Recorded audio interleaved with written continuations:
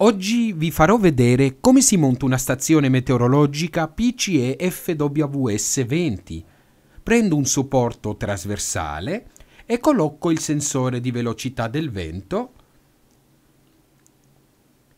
e il sensore per la direzione del vento. Adesso prendo la vite, il dado e lo stringo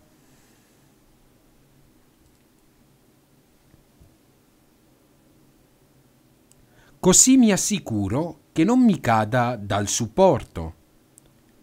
Ecco come rimane fissato. Nel passaggio successivo prendo l'asta metallica e i supporti trasversali che posso posizionare liberamente. Per prima cosa allentiamo le viti la facciamo passare in mezzo e stringiamo di nuovo le viti. Ed ecco come rimane questo elemento montato.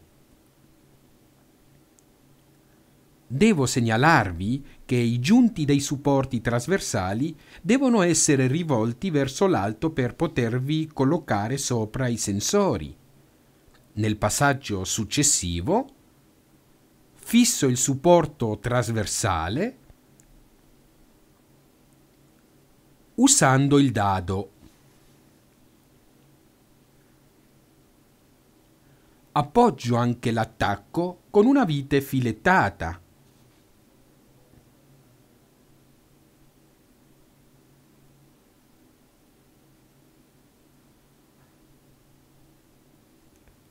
Ecco come si monta. Nel passaggio successivo fisso i sensori iniziando dalla parte inferiore usando le viti piccole, poi collegherò i cavi e solo a quel punto introduco le pile nel sensore.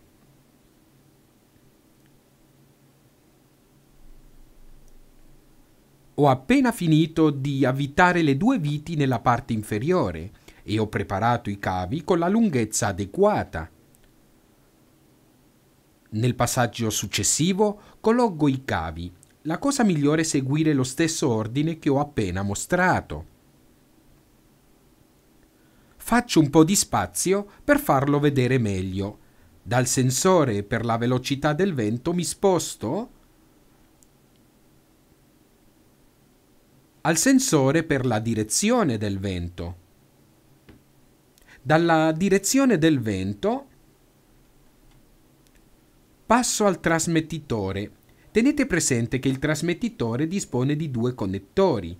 Nel connettore sinistro c'è scritto in inglese la parola vento e il connettore destro è per la pluviometria. Questo è il sensore pluviometrico da collegare qui. A questo punto inserisco le pile. Mi servono in tutto 5 pile. Le pile sono incluse nella spedizione.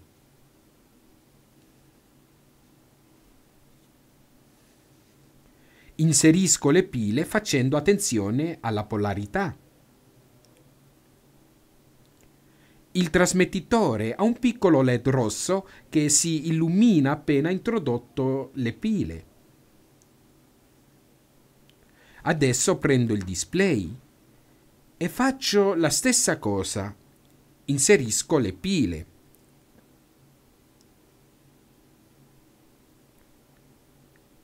Come sente, emette un forte segnale acustico. Per ora lasciamolo funzionare così. Lui stesso si regolerà in modo automatico.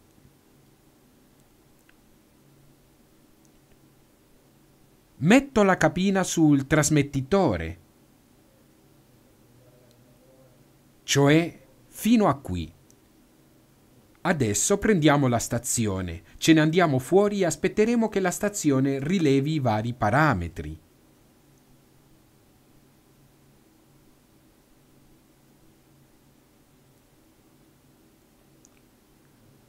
Adesso passiamo alla descrizione del display della stazione PCE FWS20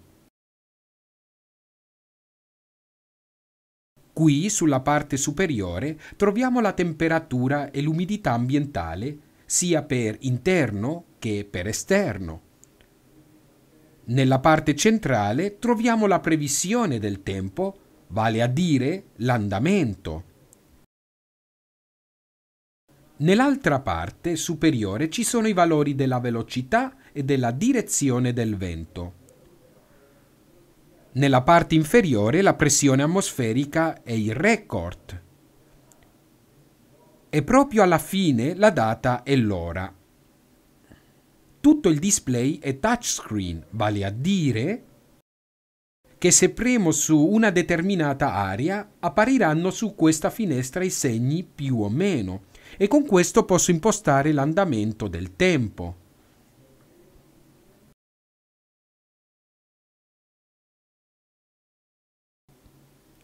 La stessa cosa succede se premo sulla finestra superiore.